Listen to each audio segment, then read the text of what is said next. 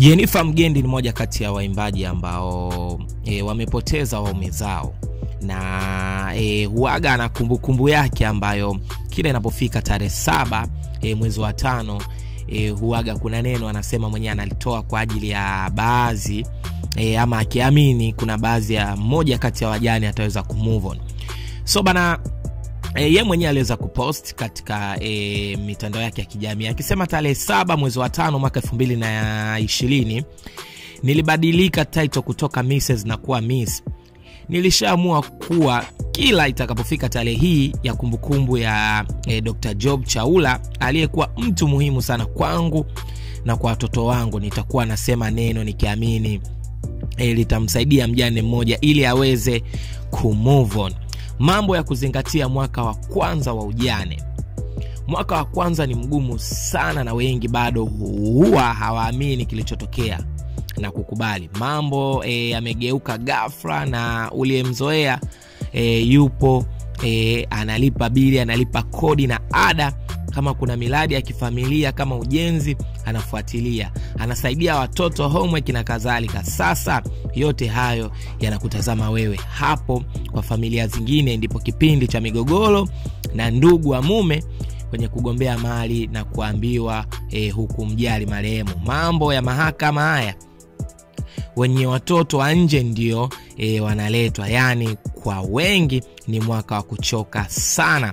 So bana, jambo la kwanza e, alisema usiache kusali. Us, e, ukipiga magoti hata e, havyombeleki ila hivyo hivyo jilazimishe tu na kuomba na kushukuru. Jambo la pili akasema e, unatazamwa. Hii unatazamwa akaelezea kwamba unatazamwa e, unajadiliwa e, utanyoshewa vidole ila usijali. Pambana kushika e, hiki kipindi. Watu wanaokutazama na maswali juu yako e, yatakuwa mengi. Mfano je utaweza e, utaishije utaolewa itakuwaje utapendezwa atasema karudi sokoni.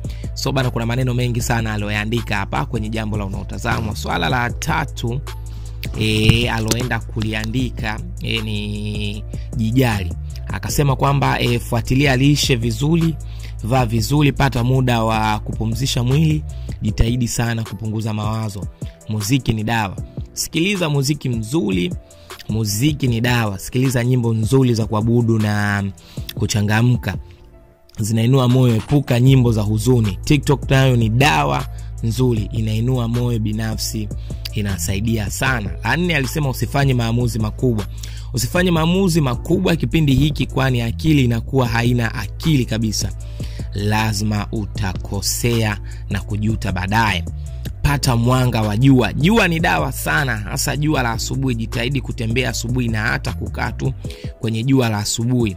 Lingine kwenye mwili itasaidia sana kupunguza huzuni kwani kuna uhusiano kati ya jua na mudi swala la sita akaenda kusema tafuta ushauri. Utakuwa na vipindi vya huzuni hasila hisia e, hatia na hisia zingine za ajabu e, kwa hiyo hata e, kutamani kufa usipite kutafuta e, e, usisite kutafuta msaada kwa watumishi wa mungu au wanasaikolojia. Jambo la saba akasema mahusiano yatabadilika. Hii e, nairudia nilishasema mwaka jana marafiki watabadilika. Wale marafiki wa ndoa wengi urafiki utakufa mungu atakupa watu wapya. Jambo la nane akasema kichwa kitaganda. Tatizo la kichwa kuganda ni la kawaida kwa wajane wengi.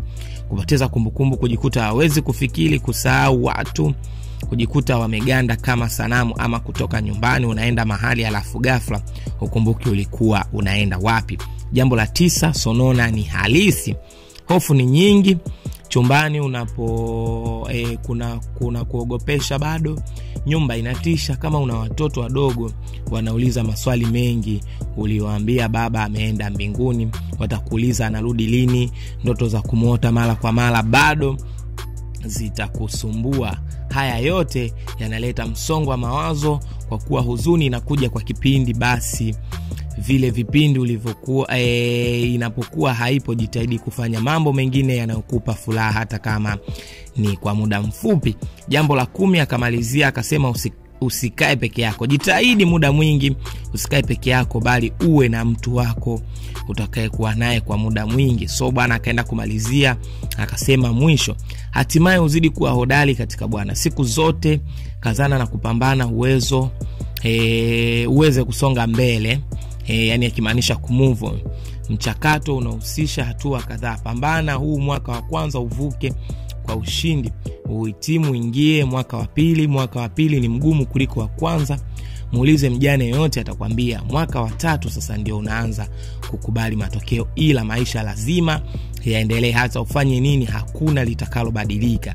Yaliyopita hayawezi kubadilika ila pambana kubadilisha yajayo. Mungu ameatia nguvu zaidi kupitia e, nguvu na wewe. So bana huu ni ushauri e, ama ni speech ambayo e, jennifer mgendi huwa anaiposti. So bana hebu jaribu kufikiria jennifer mgendi ni mwimbaji ambaye kampoteza mume wake mwaka elfu mbili na ishirini lakini bado ame move on.